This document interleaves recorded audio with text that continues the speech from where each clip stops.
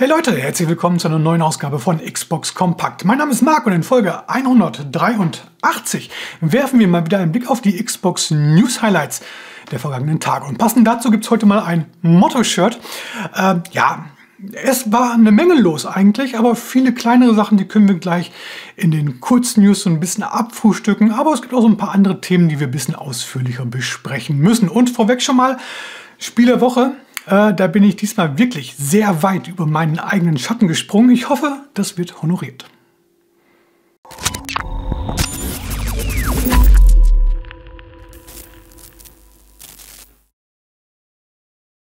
So, starten wir mit einem kurzen Hinweis, denn ich nehme diese Sendung hier ausnahmsweise mal am Freitagvormittag aus Termingründen auf. Das heißt, die News vom Freitag sind hier wahrscheinlich größtenteils nicht vorhanden. Wenn noch irgendwas Wichtiges passieren sollte, dann holen wir das natürlich nächste Woche nach. Alternativ schaut einfach bei uns auf der Homepage nach. Starten wir mit der News der Woche rund um Meta, dem Konzern von Mark Zuckerberg hinter Facebook, Instagram, WhatsApp und was weiß ich nicht alles.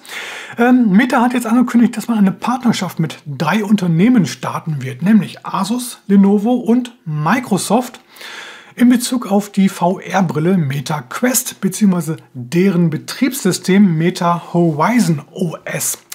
Das System will man so ein bisschen öffnen für diese drei Partner, damit die neue ja, Impulse setzen können, um im Endeffekt neue Kunden gewinnen zu können. Bevor jetzt einige von euch jubeln, nein, eine VR-Brille für die Xbox ist aktuell nicht geplant, soll es nicht werden. Also weiterhin keine VR-Spiele für die Xbox. Äh, vielmehr soll die Brille laut Mark Zuckerberg von äh, der Xbox inspiriert werden. Ähm, was das genau heißt, das wird sie noch zeigen. Vielleicht optisch so ein bisschen angepasst, äh, damit sie irgendwie zu den Konsolen das Gesamtpaket sich besser einfügt. Ähm, Schwerpunkt ist sicherlich die native Integration des Xbox Game Pass bzw. des Xbox Cloud Gaming. Das heißt, ihr könnt dann doch auf der Brille eure Xbox-Spiele nativ direkt wiedergeben.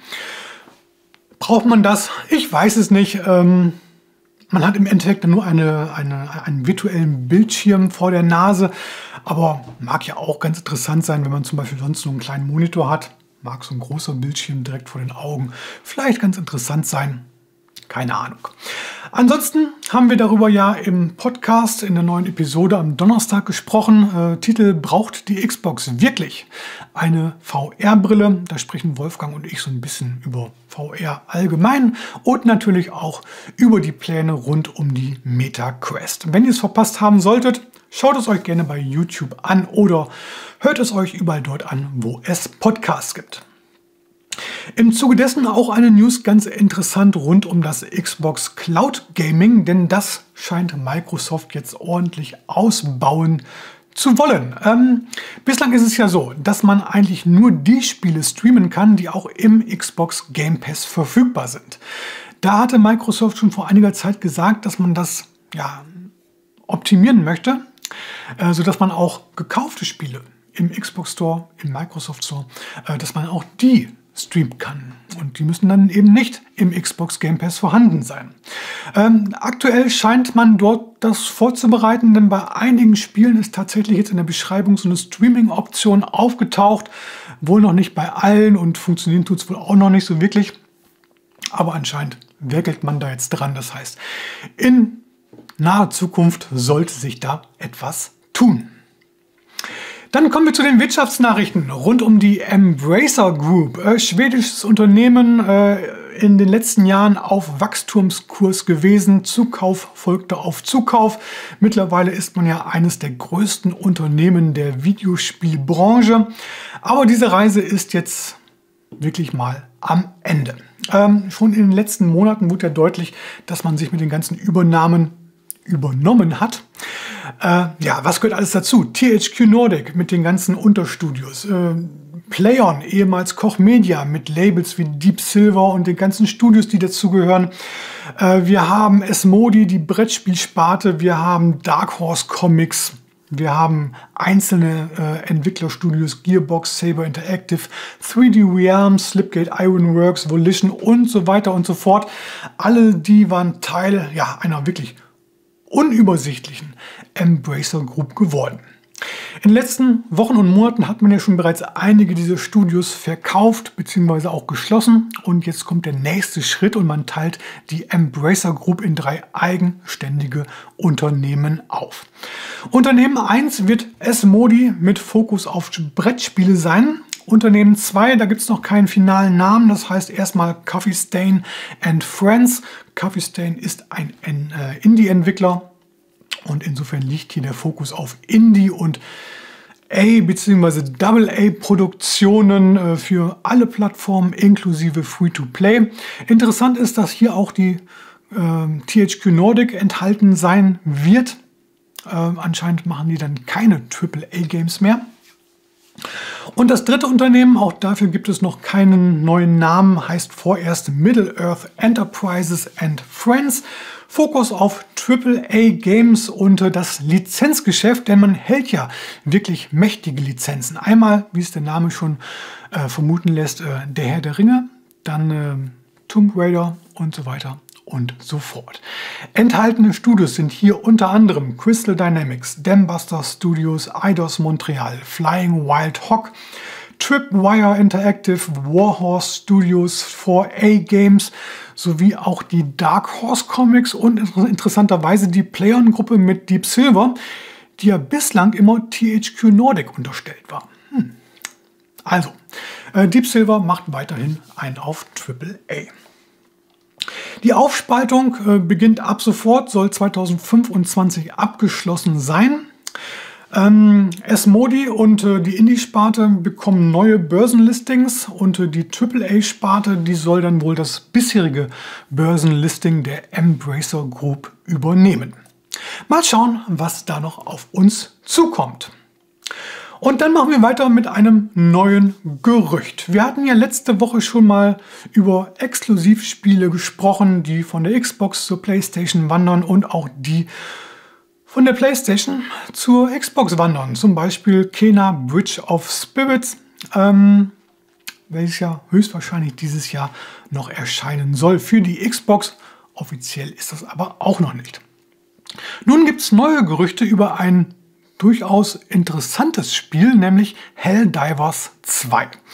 Helldivers 2, ein Third-Person-Shooter äh, von den Arrowhead Studios, exklusiv für die PlayStation erschienen.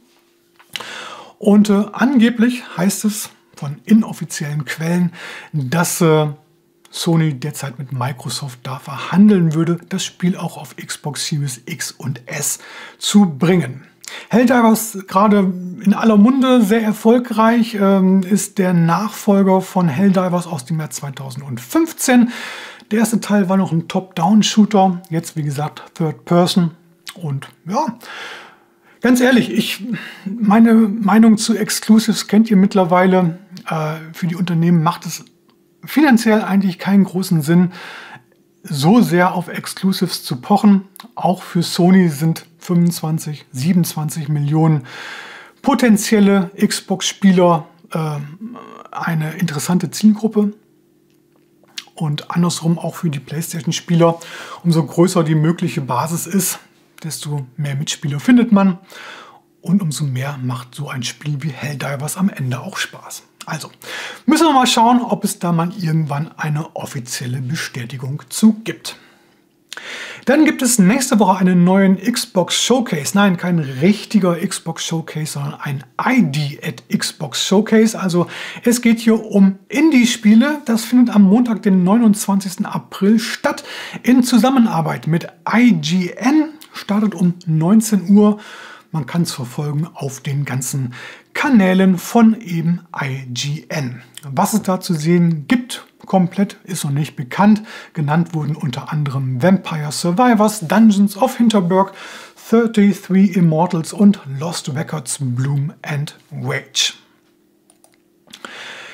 Dann kommen wir noch mal zu Fallout. Äh, da haben wir jetzt ja schon in den letzten Wochen mal öfters drüber gesprochen aufgrund der Serie. Ähm, auch dazu gibt es ja einen Podcast, könnt ihr euch auch noch mal gerne anschauen oder anhören. Ähm, jetzt gibt es neue Zahlen von Fallout 76. 2018 erschien damals so ein bisschen sehr holpriger Start mit ordentlich äh, technischen Schwierigkeiten. Mittlerweile gab es ja wirklich viele Patches und Updates, sodass das Spiel durchaus gut läuft.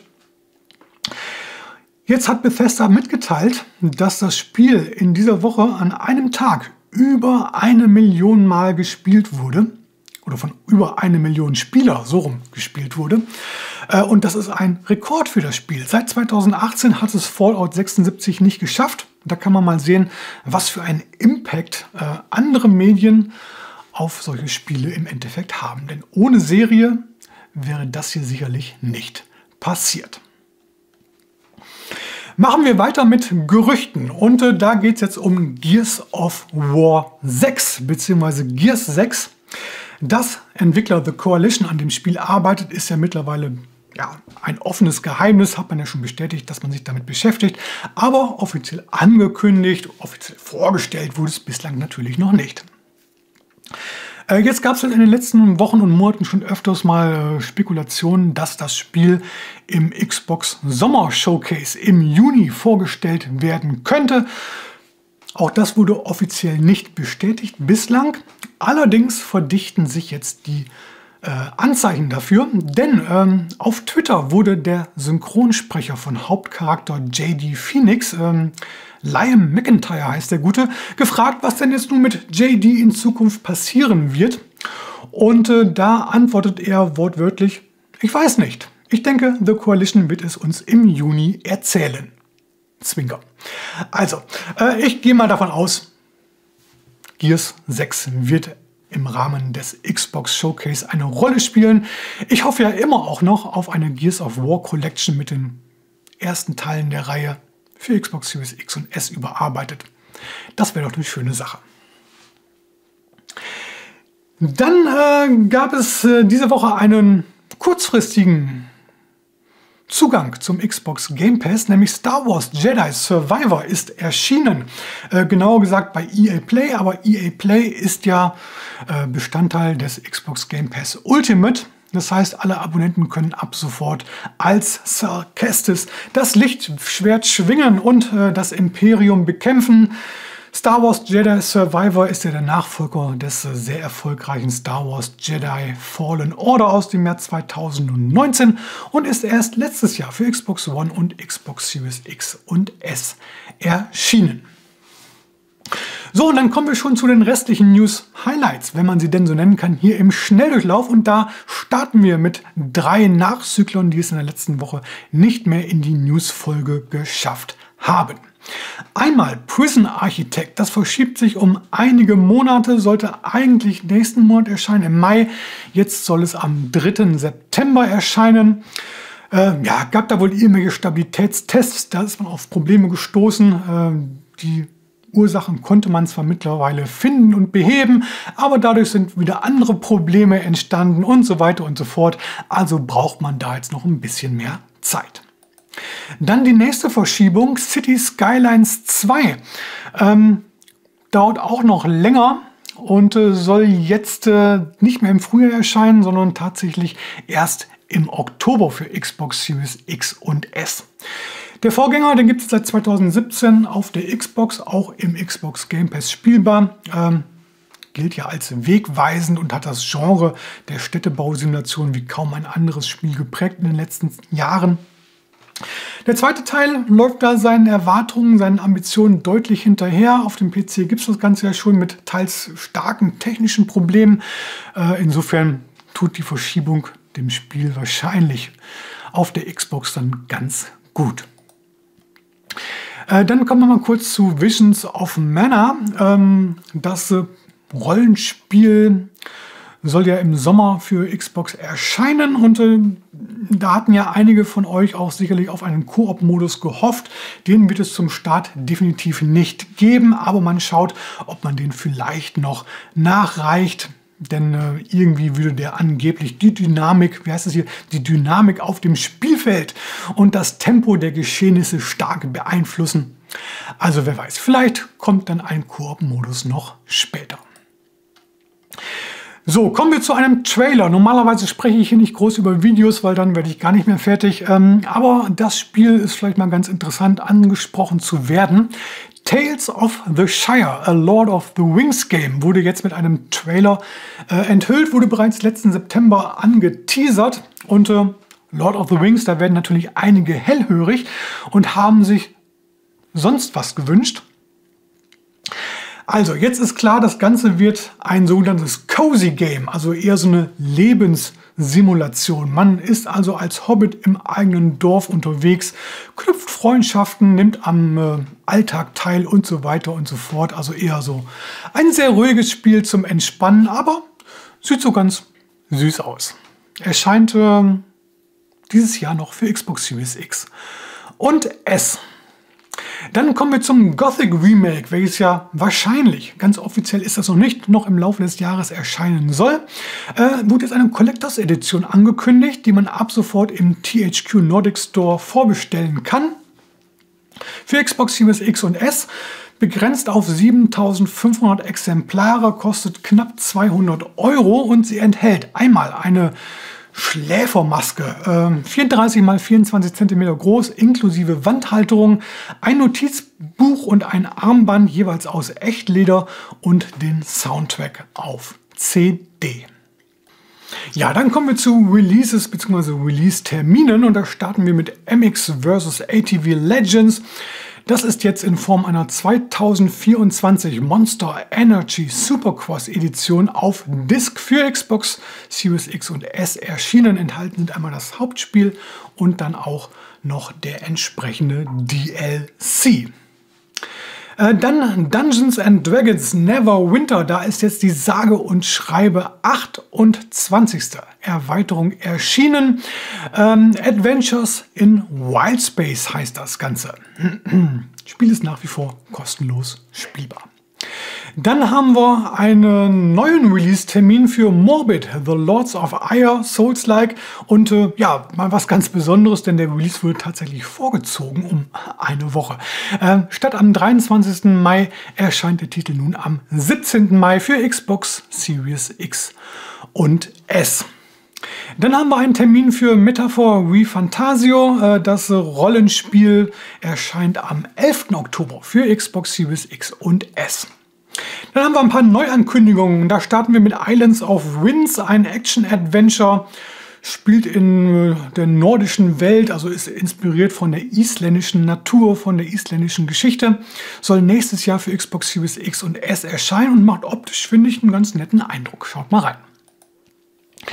Dann, ja, keine richtige Neuankündigung, äh, denn Kaku Ancient Seal heißt es, äh, wurde schon angekündigt. Ähm, jetzt hat man aber nochmal bestätigt, dass das Spiel definitiv auch für Xbox Series X und S erscheinen wird. Aktuell läuft der PC Early Access. Im Sommer soll es dann für den PC erscheinen und danach will man das Spiel definitiv auch für Microsofts Konsole umsetzen. Dann eine sehr kurze Neuankündigung und zwar Green Hell, eine Survival-Abenteuer gibt es ja schon seit 2021. Da hat der Entwickler jetzt so ein bisschen die Zahlen des ersten Teils bekannt gegeben. Über 5 Millionen Einheiten wurden verkauft. Denke ich mal, das ist durchaus beachtlich und in einem Nebensatz sagte man, dass man jetzt auch die Arbeiten an Green Hell 2 begonnen habe. Eine richtige Ankündigung ist es nicht. Es gibt noch keinerlei Infos, Release-Termin. Äh, das wird noch einige Zeit dauern. Ja, und dann die letzte Neuankündigung für diese Woche mit einem sehr sperrigen, sehr langen Namen. That Time I Got Reincarnated as a Slime. Ein Action-RPG, ähm, basiert auf einem japanischen Online-Roman.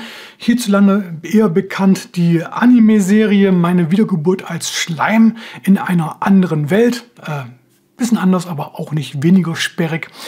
Äh, ja, dazu gibt es ein Action-RPG bzw. ein Action-JRPG. Äh, soll am 8. August schon für alle Xbox-Konsolen erscheinen. Ist ein 2D-Side-Scrolling-Rollenspiel.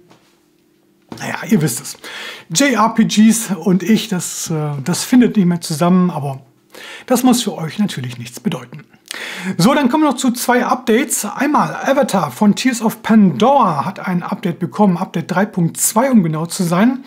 Äh, das Spiel ist ja letztes Jahr für Xbox Series X und S erschienen. Jetzt gibt es mal wieder Fehlerbehebungen, Optimierungen, bla bla bla. Äh, aber auch zwei neue Features. Einmal ein Schnellreisesystem zur Forschungsstation Alpha, sodass so lange Wege ein bisschen abgekürzt werden können jetzt. Und man hat die Framerate des Action-Adventures äh, nach oben korrigiert. Bislang lief das Ganze mit 30 Bildern pro Sekunde und jetzt verspricht man 40. Na, immerhin. So, und dann noch Lords of the Fallen. Ähm, da ist jetzt Update 1.5 erschienen, hört auf den Namen Master of Fate. Auch hier gibt es wieder Verbesserungen in Sachen Stabilität, Balancing und was weiß ich nicht alles. Aber es gibt auch neue Inhalte, inklusive drei neuer Quest-Reihen. Schaut also mal rein. Ja, dann sind wir schon bei den Xbox Highlights der Woche. Die haben wir uns ja bereits am Montag hier gemeinsam angeschaut. War ja ein bisschen mehr los diesmal wieder. Wenn ihr es verpasst habt, dann holt es gerne nach. Den Link dazu gibt es wie immer unten in der Beschreibung. Und äh, damit kommen wir dann äh, zum Spiel der Woche. Und wie eingangs schon erwähnt, habe ich mich damit so ein bisschen schwer getan denn das ist absolut nicht mein Genre und ich weiß hundertprozentig, dass ich dieses Spiel niemals selber spielen werde. Aber Ehre, wem Ehre gebührt und äh, auf den Titel haben nun mal Millionen von Fans tatsächlich gewartet und äh, das auch zu Recht. You've got ambitions, I understand that. But my situation's changed and I have to leave through that gate. It's over, Noah. Accepted. 2020 brach Ayuden Chronicle 100 Heroes bei seiner Kickstarter-Finanzierung alle Rekorde, indem auf der Plattform innerhalb von nicht einmal vier Stunden 500.000 US-Dollar zusammengekommen sind. Wenig später waren es dann über 4,5 Millionen.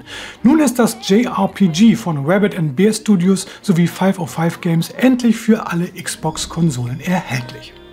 Ayuden Chronicle 100 Heroes ist nach dem kleineren Ayuden Chronicle Rising aus dem Jahr 2022, welches als Prolog fungiert und die Vorgeschichte erzählt, das zweite Spiel der Reihe. Die Vorfreude vieler Spieler basiert dabei auf der Tatsache, dass der verantwortliche Game Director hinter dem Titel ein gewisser Yoshitaka Murayama ist und äh, der war bei Konami ab 1995 für die legendäre Suikoden-Reihe zuständig, deren ersten beiden Teile voraussichtlich dieses Jahr auch für die Xbox in Form von Remastern erscheinen. Daher sehen viele Fans in Ayuden Chronicle 100 Heroes gewissermaßen den inoffiziellen Nachfolger dieser Klassiker und davon kann man sich ab sofort im Xbox Game Pass überzeugen.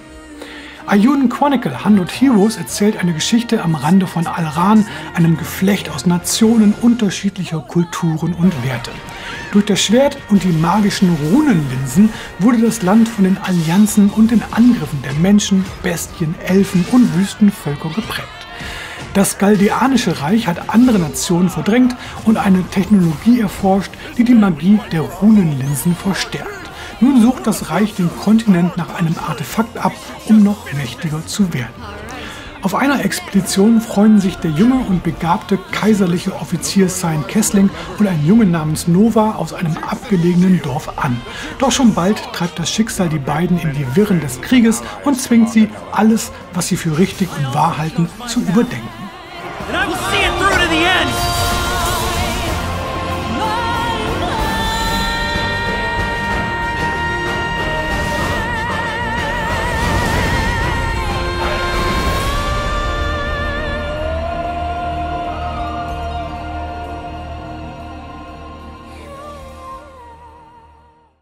Ayuden Chronicle 100 Heroes ist ab sofort, wie gesagt, im Xbox Game Pass spielbar.